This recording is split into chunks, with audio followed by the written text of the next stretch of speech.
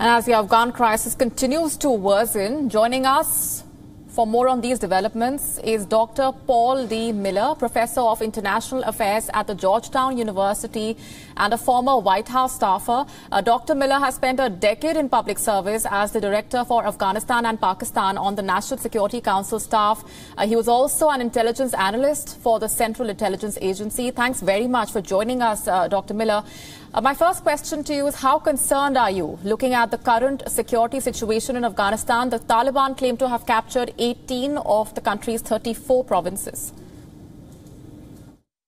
Well, I'm deeply concerned. Uh, it seems that a bandwagon effect has taken hold and that the Afghan army is in many places not even fighting, uh, almost preemptively surrendering. Um, this is the uh, worst it's been in 20 years of fighting, so I'm deeply concerned. Right. The British Secretary of State Ben Wallace has expressed concern that the Al Qaeda could return to Afghanistan. How do you react? Do you agree with that assessment? I agree. That is, for me, the principal concern about what is happening in Afghanistan right now.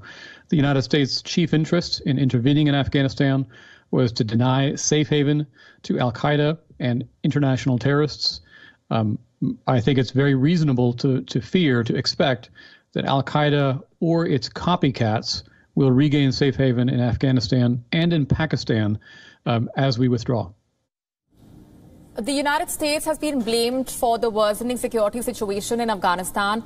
How could things have been handled differently, according to you? And why is the U.S. not willing to change its strategy, given how things have panned out ever since the troop pullout was announced?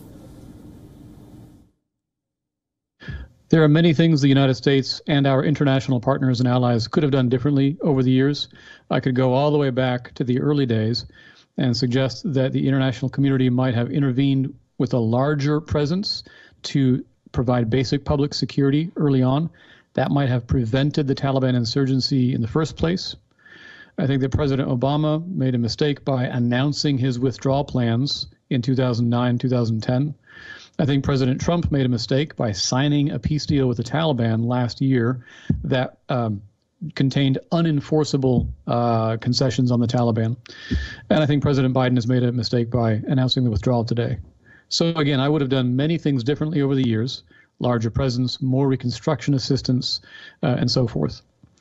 Um, I think President Biden is unwilling to change course today because he believes that there's uh, no prospect for a better outcome. I think that he believes the war has been lost for a long time, and all he's doing is cutting our costs and leaving.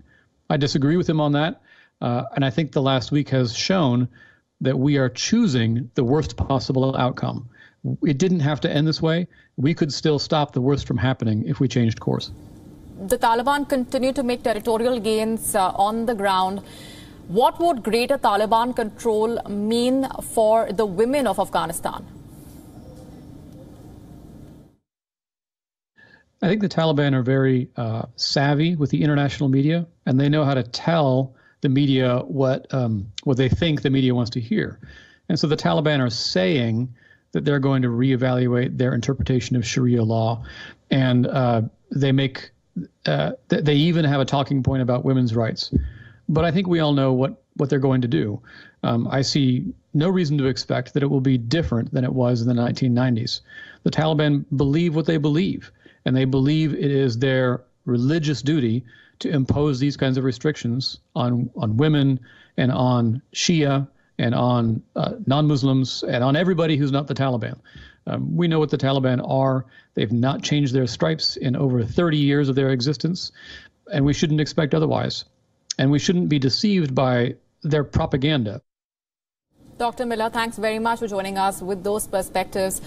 WION now available in your country. Download the app now. Get all the news on the move.